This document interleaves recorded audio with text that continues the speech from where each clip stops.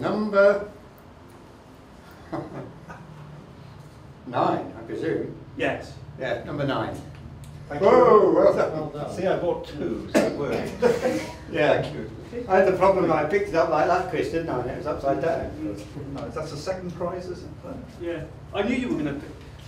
This is number 16. I think this is me, actually. Is it? I think yeah, you were the last one. Well, I think so, yeah. Oh dear. it's rigged, isn't it? Looks like it, doesn't it? Thanks very much. Oh, brilliant. Thank Thanks, you. guys. Thanks very much. Particularly for this. the bonus. I found out when I was writing my book on Wales and cinema that there was a reference in Denis Gifford's catalogue to a Lloyd George film. It just said in brackets, never shown. That's all I'd ever found about it before.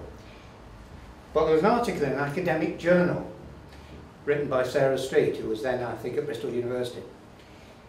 And it was the whole backstory of how the Rowsons had been involved and ideal and how £20,000 in £1,000 notes had been, um, had been awarded. So that the film would be suppressed